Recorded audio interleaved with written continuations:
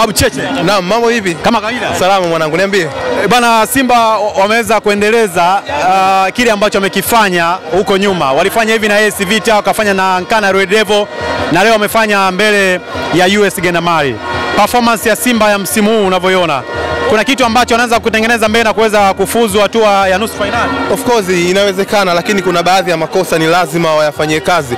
Unaweza kuona kwamba mchezo ulikuwa wao mapema kabisa, lakini bahati mbaya hawakuweza kuutumia kipindi cha kwanza. Kipindi cha pili mambo yakaja yakabadilika na kuweza kufunga mabao manne. Nafikiri kwa kikosi chao na kadiri siku inavyozidi kwenda, unaiona ni timu ambayo inazidi kuimarika. Moja kati ya vitu ambavyo vilikuwa ni, ni mtihani mkubwa kwao ni jinsi ya kuweza kutumia nafasi ambazo wamekuwa wakizitengeneza. Pressure ilikuwa kubwa kwa wachezaji wengi, lakini wanaanza kutizama Chris Mugalu baada ya kutoka nje baada ya majeraha, leo amekuja ameweza kufunga mabao mawili. Kwa hiyo ni performance ambayo inazidi kuimarika. Kama watatulia, wanaweza kufika mbali zaidi, ingawa si safari nyepesi.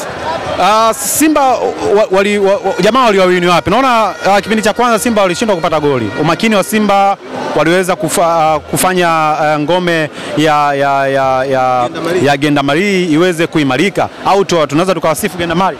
Nafikiri Genda Mari walicheza vizuri kwa sababu kuna muda walikuwa hawaachii sana uwazi. Hata kama unapatikana ule uwazi, walikuwa wanakimbia kwa nguvu kwenda kuziba yale makosa, lakini bahati mbaya kwa Simba, kipindi cha kwanza walitengeneza nafasi nyingi, pressure ilikuwa iko juu, na baadhi ya nyakati wachezaji walikuwa kama vile wanakuwa na ubinafsi, haswa Bernard Morrison amecheza vizuri, lakini kuna nya- baadhi ya nyakati alikuwa ana nafasi ya kuweza kutoa pasi kwa wenzake, lakini anajaribu kwenda mwenyewe. Lakini kipindi cha pili unaweza kutazama kila kitu kilikuwa na usahihi. Nafikiri moja kati ya kitu ambacho walichokuwa nakihitaji Simba ilikuwa ni filimbi ile ya mapumziko, na baada ya kuipata makocha wakafanya kazi yao vizuri ndani ya vyumba vya kubadilishia nguo. Wameingia kipindi cha pili wakiwa tofauti kabisa, wakaweza kufunga bao la kwanza la Kanut ambalo lilileta tofauti kutokana na namna ambavyo waliweza kucheza, na kwa ujumla ilikuwa ni performance nzuri kipindi cha pili kwa Simba, na wamestahili kupata matokeo haya ya goli nne.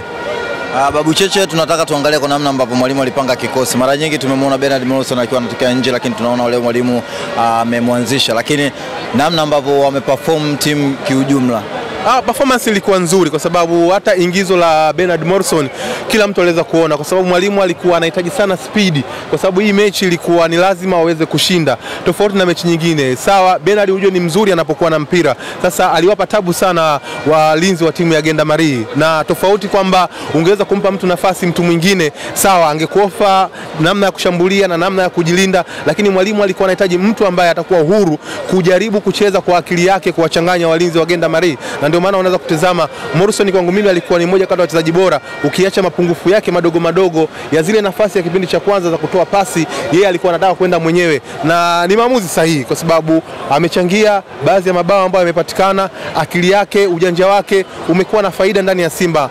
Bernard pale ambapo unamhitaji muweze kushambulia atakupa hicho kitu, lakini tofauti inakuja pale ambapo unapomhitaji labda yeye umpe majukumu ya kwenda kuzuia. Hicho ni kitu ambacho kinakuwa mtihani kwake, kwa sababu kuna muda unaweza kutazama wakati anapojaribu kuzuia ana, inafikia hatua mpaka anagombana na wachezaji wa timu pinzani, kwa sababu yeye si tabia yake kukaba, yani kwa maana ya kupambana kuzuia mipira kutoka kwa wapinzani. Lakini kwa ujumla ilikuwa ni uchaguzi sahihi kwa mwalimu Pablo, na ndio maana unaweza kuona Simba wamepata matokeo chanya ya bao nne. Kwa uchache uh, cha mwisho nini Simba wakifanye uh, kuelekea katika hatua ya robo fainali ambayo wameingia ili watengeneze njia nzuri ya kuweza kufuzu katika hatua ya nusu fainali ambayo huko uh, mbele mchezo unakuwa mmoja tu, unakuwa ugenini pamoja na nyumbani, na kama uh, utaruhusu magoli mengi, basi inakuwa nafasi ya kufinya.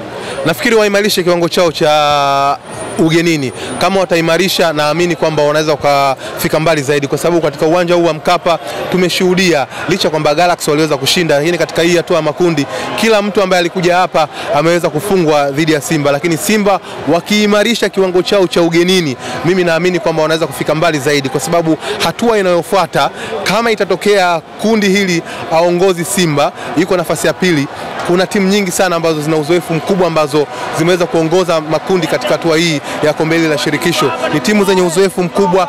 Tulishuhudia wakati Simba walivyoingia hatua ya robo fainali katika ligi ya mabingwa barani Afrika, walikutana na TP Mazembe. Kila mtu aliweza kushuhudia kwamba tunasema kwa Mkapa atoki mtu Mazembe hapo alipata suluhu, Simba walivyokwenda Lubumbashi matokeo yakawa tofauti. Kwa hiyo hatua inayokwenda sasa, Simba wanakwenda kukutana na timu nyingine zenye uzoefu wa kutosha. Kwa hiyo ni lazima kwao waimarishe kiwango chao cha ugenini, lakini kiwango cha nyumbani kimeimarika sana, kwa sababu kupata alama tatu katika kila mechi ya hatua ya makundi katika, kombe, katika hatua hii ya kombe la shirikisho ni kitu kikubwa, lakini ugenini ni shida na kila mtu ameweza kuona. Wakati nakuja hapa nimeona kama unachungulia simu hivi, uh, unaweza ukagesi Simba anaweza kakutana na nani huko mbele? Draw. Ya, yani nilikuwa najaribu kuchungulia ili niweze kuona kundi limekaa namna gani. Kwa hiyo ni lazima tuone imefikia katika hatua gani, kwa sababu mchana nilikuwa natazama mechi ya TP Mazembe na Almasri.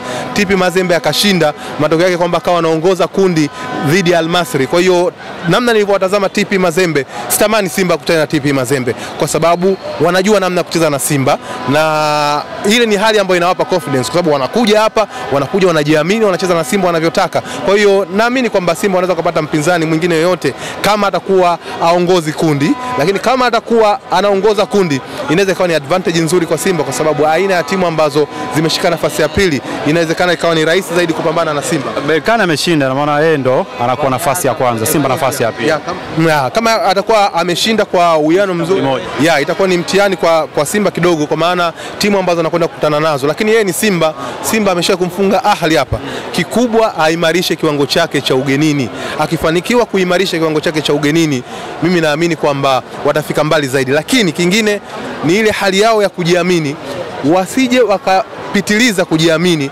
Wenyewe wanafahamu walijiamini vya kupitiliza dhidi ya UD Songo, hali ikawa tofauti hapo katika uwanja huu wa Benjamin William Mkapa. Dhidi ya Galaxy walipata matokeo mazuri kule Botswana, hapa hali ikawa tofauti.